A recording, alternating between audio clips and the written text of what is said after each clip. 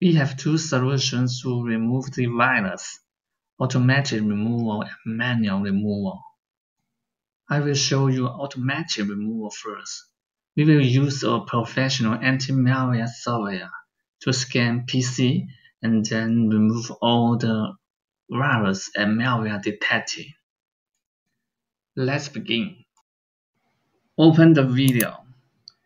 Click the link and video description and you will get a page. Now you can download SpyHunter here. And run the installer. Now you need to follow its steps to install SpyHunter 5. Select language and continue and accept and install. Just wait about one or two minutes. When you finish, start a scan now. It will help you find out all malicious files and malware on your computer. When the scan complete, click Next. The one-time fix will need you to wait 48 hours. If you want to remove all the detected malware now, you should choose Free Trial. It will solve all your problems. Next, I will show you the manual removal. The process might require advanced computer skills. If you are not familiar with it, please choose the automatic removal. Let's begin. First, we need to end the malicious process run the malware. Now hit the three keys at the same time. Then Task Manager will open. Now you need to find out the dangerous process and then end the task. For example, you select one process and click here. Next, we need to uninstall malicious programs. Please hit Windows key and R key at the same time. Now you can see a Run window come out. You need to input control panel and click OK and then click uninstall a program. Now find out the dangerous program or suspicious programs and select it and click uninstall. Next, we need to delete suspicious browser extension installed by malware. First, on Google Chrome, click the menu button select More Tools and click Extensions. Now find the suspicious or dangerous extension and click Remove. On Firefox, click Menu button. Now click here. And also you need to find out and remove the suspicious extensions. Click here and click Remove. On Microsoft Edge browser, click the menu button. Now right click on Extension and click Manage Extension.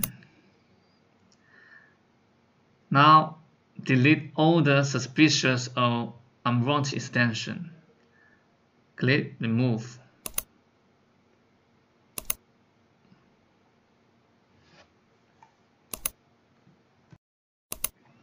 Next, we need to remove malicious files created by malware. Hit Windows key and R key at the same time.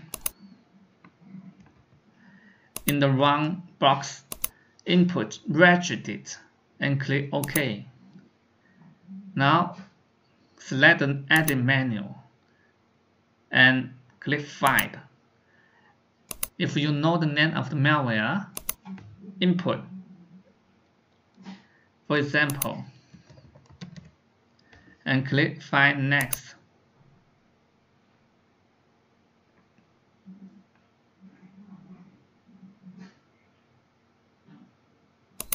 Let's wait. Okay, now we we have found some files from the malware. Right click on the folder and click delete. If you are going to delete any files in the registry editor, please make sure that the files are from malware.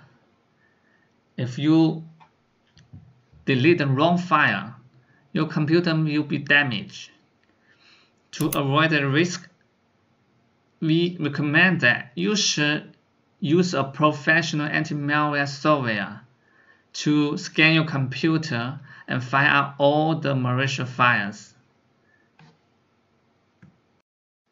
If you want to scan your computer with anti-malware software, you can try the SpyHunter 5 anti-malware from our website easysolvemalware.com.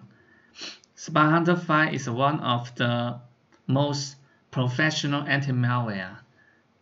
Download it here. The final step is to reset web browsers.